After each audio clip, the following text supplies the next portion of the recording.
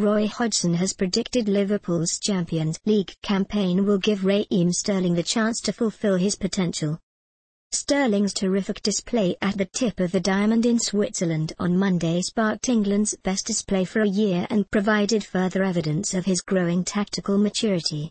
And Hodgson feels the chance to lock horns with Europe's elite clubs, starting with the Reds' two group phase meetings with Real Madrid, can only accelerate Sterling's progress. What he will get is nuance in his decision-making.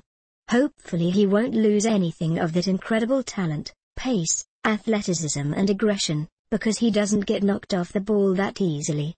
But the bottom line for him is his understanding of when it's really important to do it and when he should be a bit more careful should maybe drift away and take somebody out of position.